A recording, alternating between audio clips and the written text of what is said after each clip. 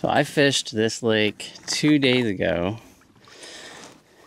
and absolutely got spanked. Saw fish all day, marked fish all day, had a couple nibbles, caught one little dinker nine inch kokanee. That was it. There was some guy out here who was catching fish and he was basically running over everybody's lines and uh, had zero boat control.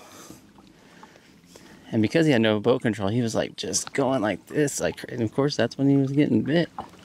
I tried replicating that and it did not. So, did not work for me. So I call that the anti-karma bite. Sometimes the jerks catch all the fish, which is no fun. There's the fish at 25 feet. And there's a fish on. oh man, just in the first few seconds of the day. That's a good sign. Literally just got that thing down there. That's crazy. Feels heavy. Oh, he's off. He spit it and jumped. Felt the weight come off of it. Then he jumped back there. Well, that's a promising start. I'm not gonna lie. A little bit of heartbreak. But to have a fish on in 30 seconds is is pretty good. Hopefully it bodes well for what's to come. That was snapping in a three ounce weight and then dropping it 40 feet down, 40 feet back. Pink Hoochie Silver Moon Jelly Dodger. Oh, there's fish. Whoa, that thing is ripping line. What? That, that was a huge hit.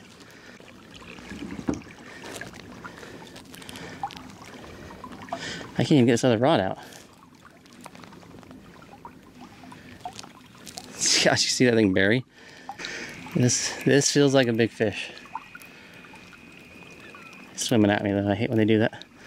Just gotta real keep up with them. Okay, there's the weight. I gotta bring that thing into me. Speed up. There we go. This thing is bulldogging me like crazy. Good grief, look at those head shakes. Oh yeah, it's a nice fish. Still taking mine. Oh, it's that time of the morning I can't see under the water. The reflection makes the water look inky black. Makes it really hard to stab because the backs of the fish just disappear. Come on, come up. He is just staying down. Oh my God, yes. That's a nice fish. That is a nice fish to start the day. I will take that in a heartbeat. Dang. Not as big as the ones I got on deck the other day, but still a tank. He fought. Almost as good though. Look at that fish. That is a beauty. Beauty. Well, that's one way to start the morning. Two fish on like a minute. I still have not deployed my other rod yet. All for good reason. Well, something's really changed because when I got up here the other day, I was marking these fish and they wouldn't bite a thing. Uh, high pressure's just kind of settling back in, so it's sunny and calm rather than stormy and windy. And I know that can throw off the kokanee bite at home, but they were saying like up here it can, you know, when you get rain, thunderstorms and stuff, it'll knock the bite down for days, which is really bizarre. Like at home, know, we'll get pressure changes, but it won't, uh, it won't kill the bite for days on end. It'll just, you know, the bite might drop off for that morning or that afternoon, but it usually come back on the same day. But these fish just seem like they go completely off the feed uh, so it's really different. I think the other difference is at home, you know, I live in a more like high desert, uh, rain shadow climate, and so we pretty much just have sunny days uh, all summer. And, you know, we have very little changes in pressure systems and such. And so we have pretty good kokanee fishing consistently all the time. And the only thing that I really pay attention to is the moon cycle. I just try not to go fishing after a full moon night that's clear because that they will seem to like not go on the feed in the morning and they won't be as aggressive until later in the morning.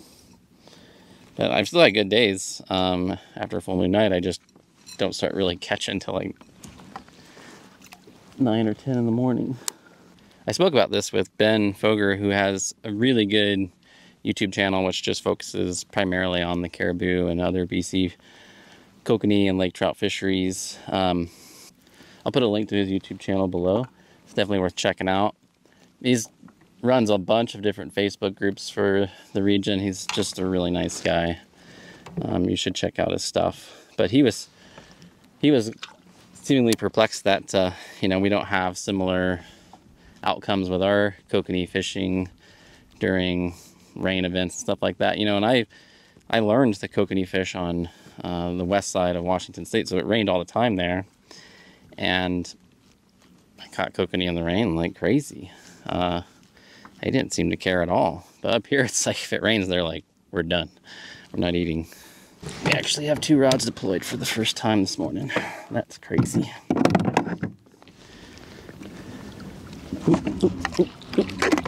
There he is. On the orange hoochie. And he's off. Turd. That was on the orange hoochie. I don't use corn very much anymore. I use gulp maggots that I soak in Pro-Cure bait, water soluble bait oils seems to work for me and they're a lot more shelf stable and it's a lot less of a headache to deal with when I'm traveling. So that's what I prefer now.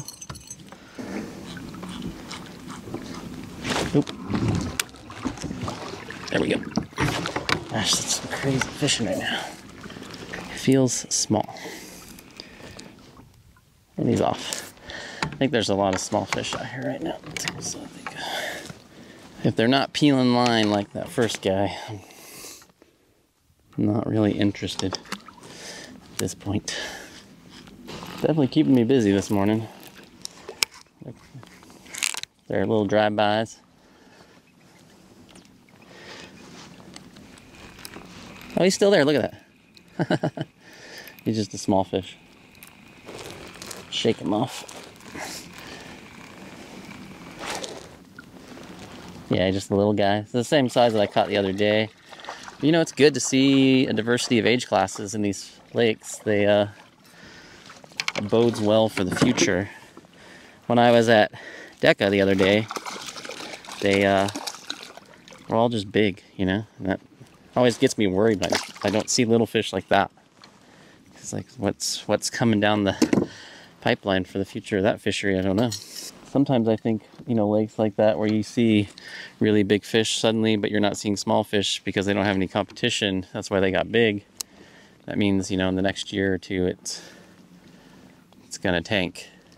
I've seen it happen on my local lakes a lot where you'll just start seeing bigger and bigger fish and then boom, there's just nothing. Man, these Paulina Peak light dodgers just go crazy. I just love the action on those things. Look at how hard they thump. They almost turn over, but then they er, er, er, turn back. Look at that hoochie. It is moving.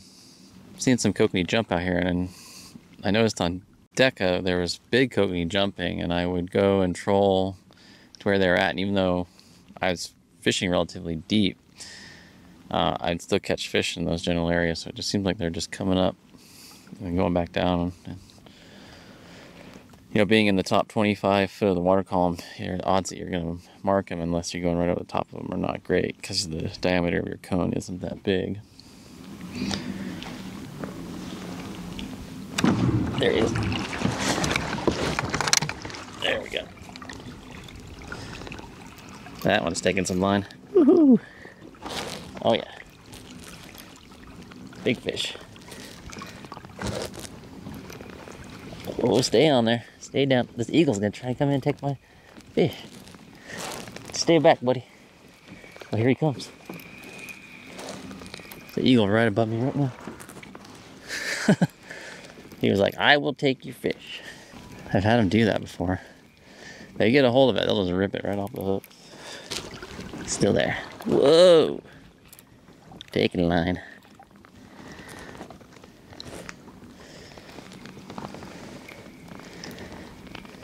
Oh, no. No. Why? How do they do that? That is just crazy.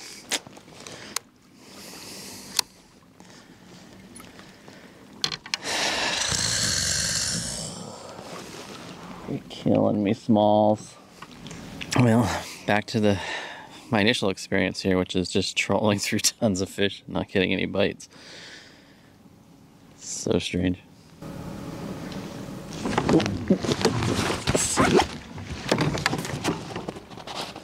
That's on the uh, flutter bug.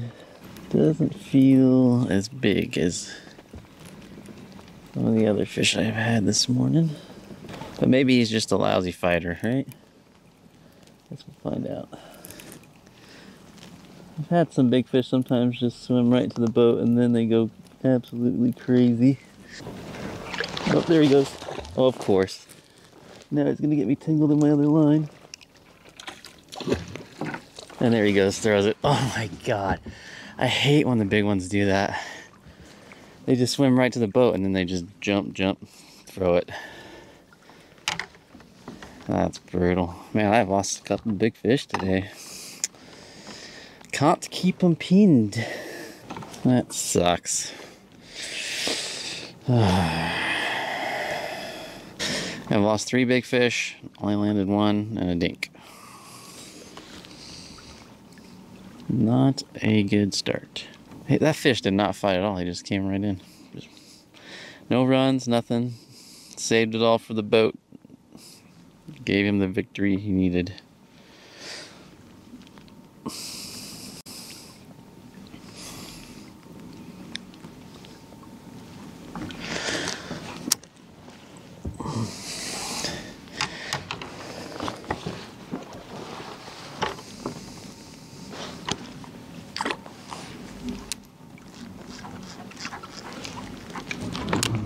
There we go. He's peeling mine. There's another jumper. God, they are just going crazy back there.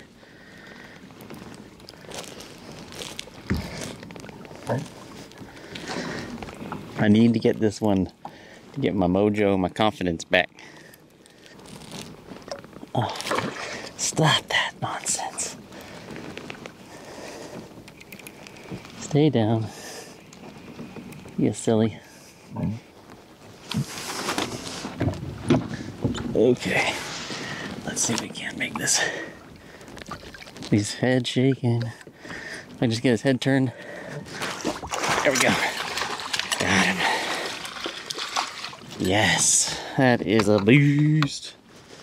Okay, I'm gonna get this one down in the strike zone like right now, since the bite's so good.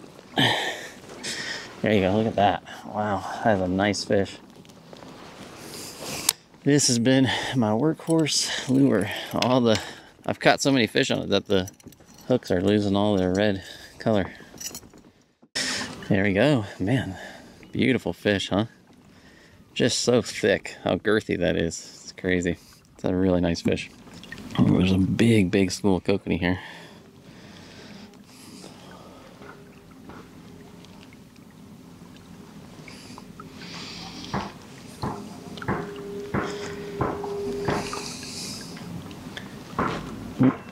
Oh, oh, oh, he tapped at it.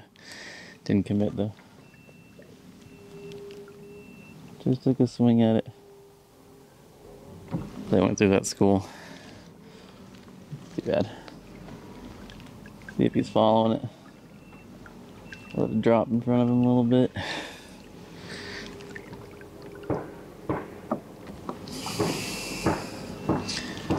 Just mouthed it.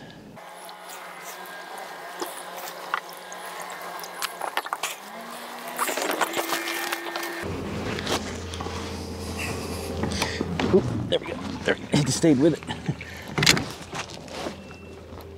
Another big one on the surface back there. He followed that thing for a long time. He is gone deep now. He's gonna save his energy for the jumps near the kayak, I guess. Oh yeah, there he is. Okay, buddy. Oh, of course. You- What a... Jeez, these guys are little... Okay. Oh, Jesus. I can't believe I didn't get him on that one. Look at these guys, they're nuts. This is stressful. Come on. There you go. Wow. That is a beast of a kokanee. I, that one just took about two years off my life. Jeez. There you go, you can see the little flutterbug, moon jelly gold. Gold Dodger. Another dandy. Caribou is coming through for me now. I had my doubts about this place first couple days up here, but now I'm starting to change my mind. I went through a school and I got like a little tap. He just followed it. I'm absolutely positive that fish just came off that school and followed my gear.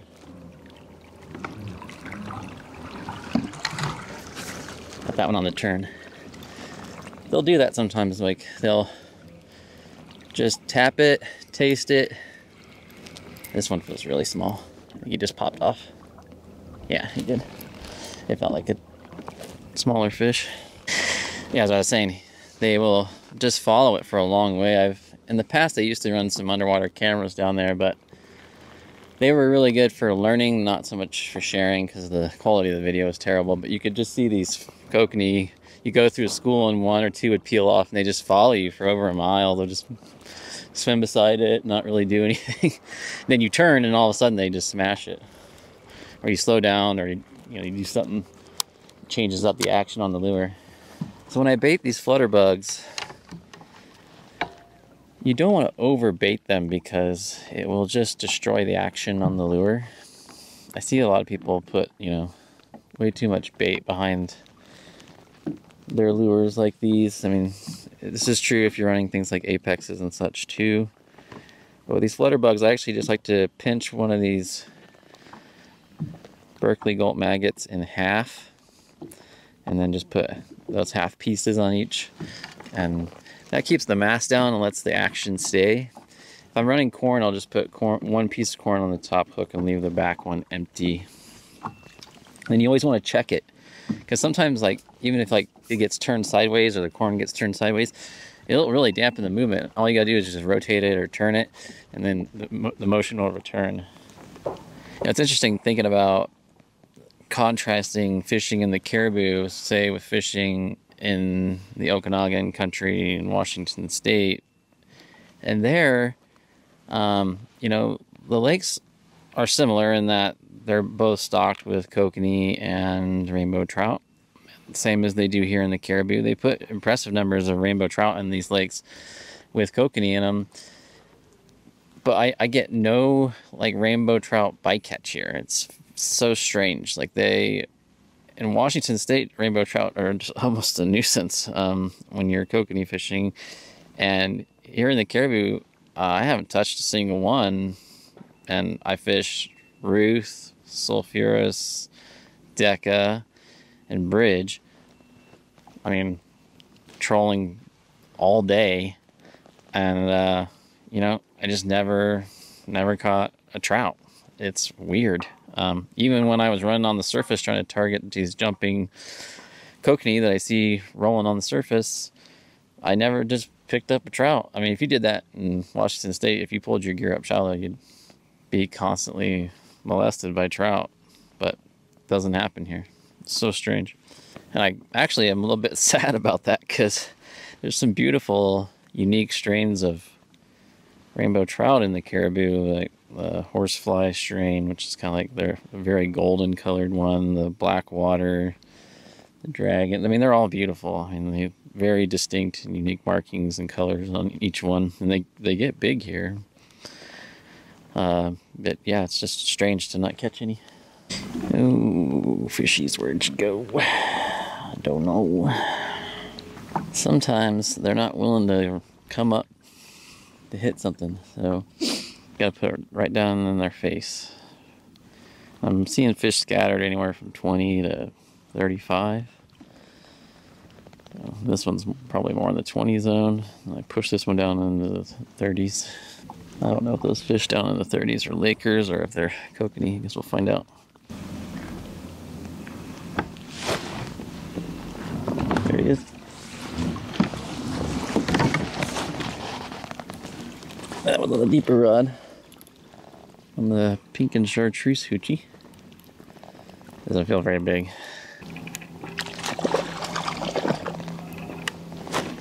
Just a little dude. See ya. I certainly had my chance to limit before 9 a.m., but I just lost too many fish this morning. That is a bummer. Turned into a beautiful day, though. Well, I am going to use the downrigger as a tool here, so I'm going to go through schools, and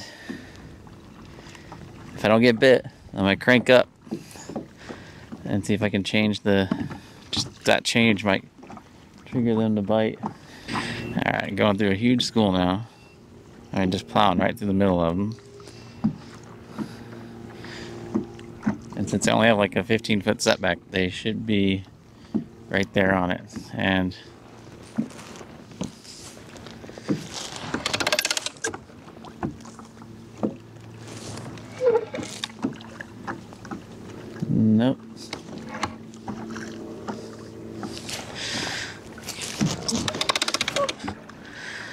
Still got some fish following.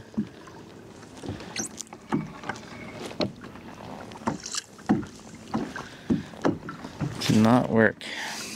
Darn it. Okay, well. Thought that might be worth a shot.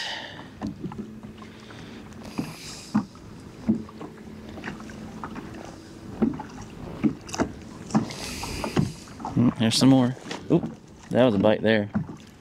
See that? There was one following it.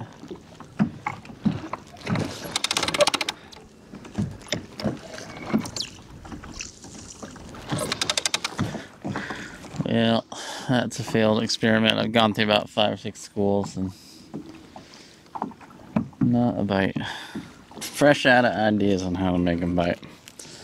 I've tried everything. I've tried every color, speed, from one to two miles per hour. These guys are just tough, tough to catch after uh, the morning bite.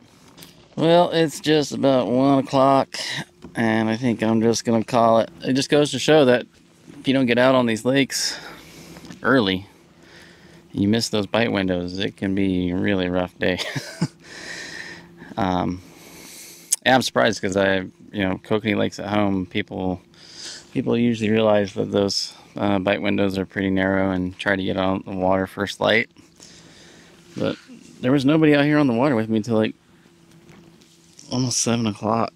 And by then it was pretty much over. I still got a couple small fish and drive-bys in the 7 to 8.30 hour, but nothing since. Anyways, much better outcomes than the first time I came here when I was on the water O Dark 30 and got essentially nothing aside from very one very small fish. But uh, yeah, bridge is a tough one. There's a lot of fish here, but They have very narrow bite windows, and you just got to be here for them. All right, I'll put links to all of the lures that worked for me here uh, in the description below. And big shout out to Paulina Peak, making it possible for me to come up to BC and do some kokanee fishing north of the border, which has been really fun, interesting, and very challenging. It's probably one of the most challenging kokanee road trips I've ever been on. Um, it's been a tough, tough bit with the weather. It was all shifty, but it seems like high pressure settling back in, but still very different conditions than what I uh, am used to fishing in back at home. All right, I'll see you guys next time. Just remember, fish smarter, not harder.